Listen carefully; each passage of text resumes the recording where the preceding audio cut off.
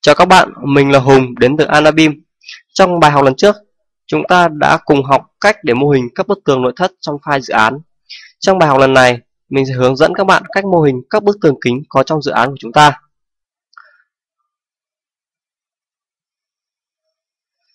Đây là file chúng ta đã dựng hôm trước. Còn đây chính là những cái bức tường kính mà chúng ta sẽ dựng ngày hôm nay. Như các bạn đã biết thì những cái bức tường kính này trong công trình của chúng ta nó có rất là nhiều, nhất là trong các bức tường ngoại thất. Do vậy, bài học hôm nay nó sẽ rất quan trọng để giúp các bạn có thể nắm vững được các kỹ năng để có thể mô hình các bức tường kính ngoại thất sau này. Thì để làm việc trong ngày hôm nay chúng ta cần tìm hiểu các công cụ về Solute Tool. Các bạn cũng sẽ có thể mở nó bằng cách vào cách vào Toolbar và kích vào Solid Tool. Chúng ta sẽ dựng hình bằng các cái kỹ năng về Group Component và các khối Solid do vậy các bạn cần phải chú ý hơn. Bây giờ để vẽ các bức tường kính này, chúng ta sẽ import một cái file cat các mặt đứng của bức tường kính và vào file, import và kích vào bản cat một option, mình chọn đơn vị mm và bỏ chọn khu vực này. Ok, và open. Mình close. Sau đấy mình sẽ di chuyển bản cat của chúng ta ra vị trí này chẳng hạn đây chính là hai mặt đứng của hai bức tường kính. Bức tường kính này, nó nằm ở vị trí này. Và bức tường kính này, nó sẽ nằm ở vị trí này. Mình sẽ mô hình cái bức tường kính này đầu tiên. Các bạn vào layer. Và các bạn thấy là chúng ta đã có rất nhiều layer CAD vừa được import vào. Và bạn cần làm sạch nó. Mình kích vào import AutoCAD để kích hoạt. Sau đấy lựa chọn các layer mà mình không muốn có. Chọn hết và delete chọn move content to current layer sau đấy mình sẽ kích vào tờ nội thất để bắt đầu vẽ. Mình sử dụng lệnh rectangle. Mình sẽ vẽ một cái khối rectangle đây đây sẽ là cái đố kính đầu tiên của chúng ta. Các bạn sẽ chọn toàn bộ đối tượng. Make component và đặt tên nó là phố dọc 01 grid mình tạo component đơn giản là bởi vì cái đố dòng này nó có rất nhiều và chúng ta sẽ dễ dàng copy hơn khi nó là component. Sau đó mình kích đúp vào nó và put nó lên 150 enter. Sau đấy mình sẽ sao xếp nó ra vị trí khác nhau.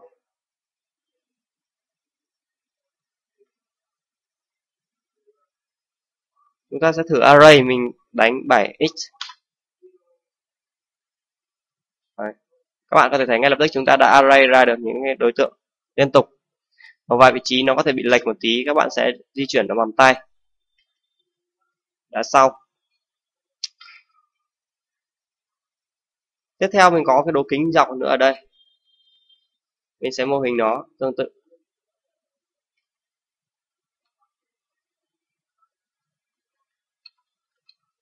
Enter và lại put nó lên 150 copy nó sang các vị trí khác mà nó giống nó. Đây. ok, mình đã xong các đố kính dọc. Sau đấy mình sẽ chọn tất cả các đố kính này. Mình sử dụng lệnh auto cell để gom các khối đố kính này thành một khối duy nhất. Ok. Tiếp theo mình sẽ vẽ các đố kính ngang mình sẽ vẽ đố kính ngang này đầu tiên.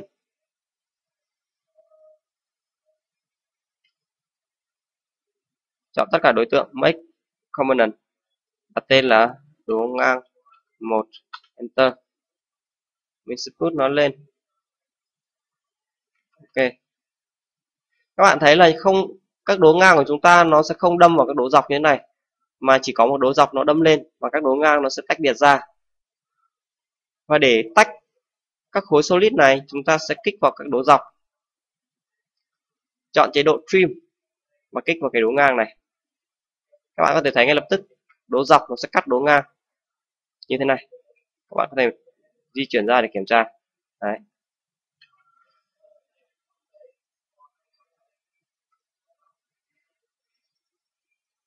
Đấy các bạn có thể mix lại component. Vì cái công thao tác stream đã biến cái đối ngang của ta thành một cái khối solid, khối group. Các bạn cần make component lại và copy nó ra vị trí này. Đấy. làm tương tự với đối ngang này.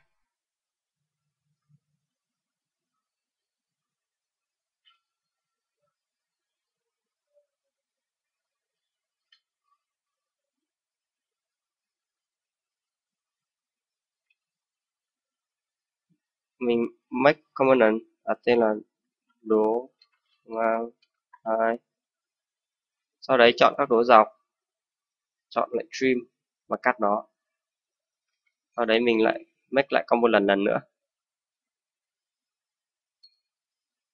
Và copy nó ra.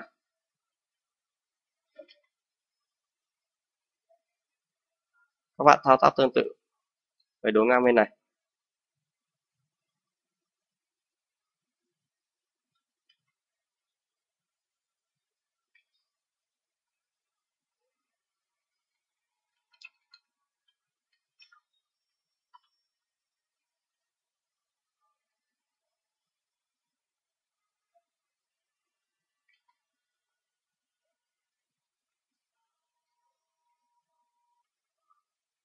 Việc sử dụng các lệnh copy, group, component, các lệnh solid sẽ giúp các bạn dựng hình một cách chính xác và sạch sẽ các đối tượng hơn và nó sẽ mô phỏng chính xác thực tế hơn.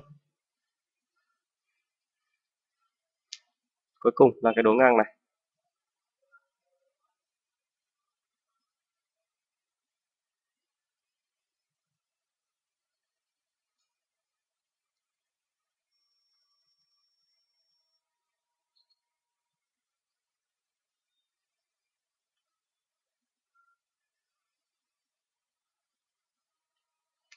Kích vào đây. Chọn trim chọn đây. Ok. Đã xong. Sau khi tạo xong được các đố kính, các bạn sẽ tạo cho nó một cái lớp kính. Các bạn dựng, sử dụng lệnh rectangle, vẽ một cái hình rectangle ở đây. Đây sẽ là tấm kính của chúng ta. Sau bạn kích đúp vào nó và make group kích đúp vào và put nó lên 25 sau đấy các bạn di chuyển tấm kính của chúng ta vào trong một khoảng là 99.5 tiếp theo, như mình đã nói, tấm kính này nó cũng sẽ không là một tấm kính to mà nó sẽ là những cái tấm kính nhỏ. Các bạn cũng sẽ cắt ra bằng cách tương tự. Kích vào các đối dọc, kích vào chim và chọn vào tấm kính kích vào các đồ kính ngang. Kích vào chim. Chọn vào tấm kính.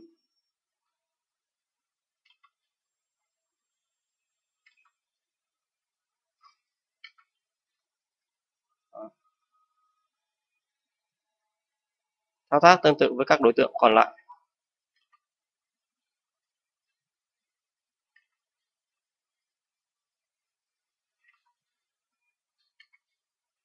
Các bạn cùng xem kết quả. Các bạn kích đúc vào tấm kính của chúng ta.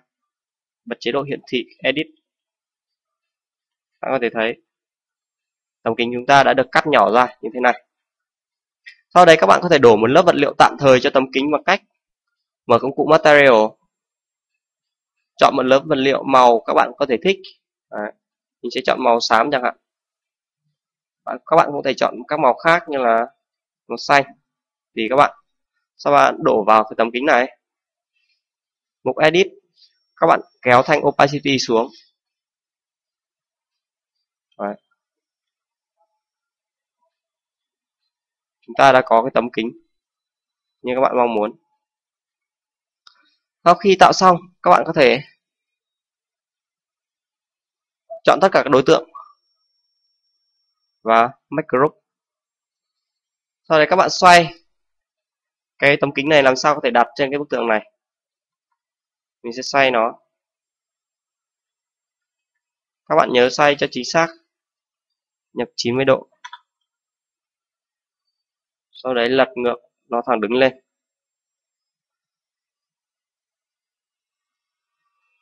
Và bắt điểm vào một điểm mốc. Và di chuyển nó đến cái vị trí trên mặt bằng.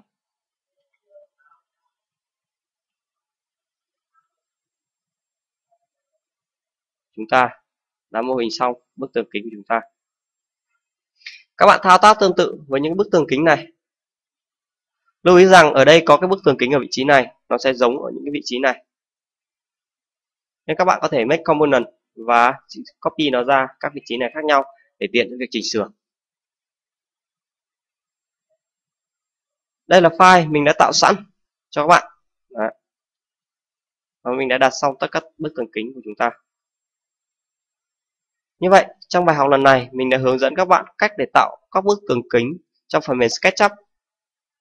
Hy vọng các bạn sẽ làm việc một cách thuần thục để chúng ta tạo tiền đề để dựng các bức tường kính ngoại thất sau này một cách nhanh gọn. Trong bài học này, chúng mình đã hướng tới việc sử dụng các khối solid, group và component để dựng hình. Đây là một cách dựng hình nó sẽ tương đối là lâu. Tuy nhiên, nó sẽ khá sạch sẽ, bản vẽ và nhẹ nhàng gọn gàng, cũng như là nó sẽ mô phỏng gần như chính xác thực tế các đối tượng hơn. Hy vọng các bạn cảm thấy thú vị với clip lần này. Xin chào và hẹn gặp lại.